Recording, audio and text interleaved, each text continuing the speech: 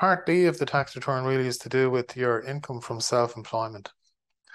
Now, there there are a set of rules, uh, and they're uh, in TaxMagic and also on the Tax Board website, which can be used to distinguish whether you are an employee or self-employed. Self-employed means in business on your own account, uh, and the characteristics of self-employment are, you know, that you're not under the control of an employer. Uh, you can choose your own time to work. Uh, you bring your own tools and equipment, and you carry the risk of not being paid, uh, etc. So there is a very clear distinction between being an employee and, and self-employed. Um, and uh, so if you are self-employed, uh, from a tax point of view, that can be quite good because it means you can get additional deductions. The test for deductions for employees is that the expense must be incurred wholly, exclusively, and necessarily in the performance of the duties of the employment. Uh, whereas the test for a self-employed person is that the expenses need only be incurred wholly and exclusively for the purposes of the trade or profession. So the wholly and exclusively and necessarily a test is very hard to meet, but the wholly and exclusively one is a lot easier. At the same time, you need to be careful. Um, you know, there's a lot of case law on the meaning of wholly and exclusively.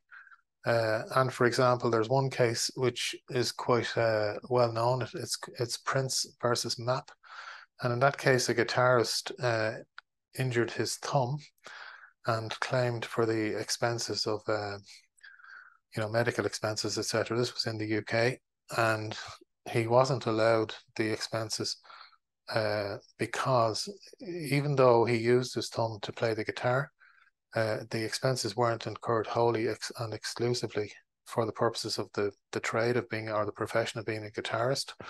There was also a personal element that he needed his thumb for his personal life as well. So you need to be careful uh, if there is a duality of expenditure that you only claim the bit that's related to the business. Um, so uh, uh, RCT is mentioned here under the uh, trade or profession as well. Uh, so if you're a contractor, uh, you have to make that clear.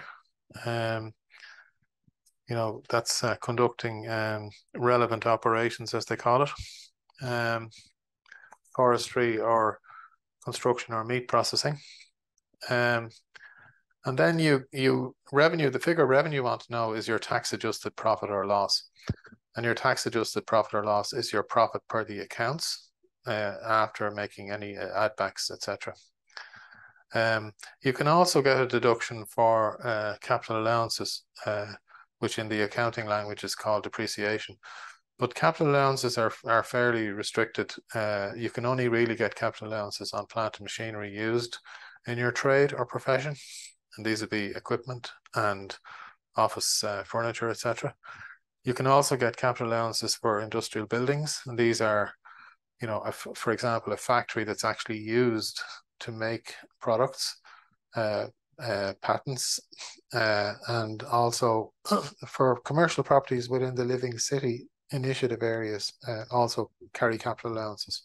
If you have losses, um, you can offset a, a, trading loss against other income, including rental income and even uh, PAYE income. So if you have a person who's carrying on a trade uh, of, um, we'll say, for example, some kind of hobby trade, um, you know, earning say twenty thousand a year from uh, a, a, home business, uh, a hustle type uh, self operation, and say it's losing money, then the, the loss from that uh, trade can potentially be offset against income from a job. And quite often, that's one of the reasons why, when somebody's starting in business, they might choose to start in business as a sole trader and continue on as an employee in order to be able to offset the losses from the sole trade against the employment income. Uh, whereas if they were to start as a company, then that ability wouldn't be there. You wouldn't be able to offset the losses from the company. So most trades do usually incur losses in the first year year or two. So that's a useful tax tip for you there. Just you know, if somebody's starting in business, quite often it makes sense to do it as a sole trader, particularly if they're carrying on the employment uh, for a year or two. So capital allowances, industrial buildings, you don't get industrial buildings allowances for um, you know, uh, you, you can get them for hotels, but you don't get industrial buildings allowances for, you know, things like car parks or just land uh, in itself. It has to be used for productive uh, factory type purposes.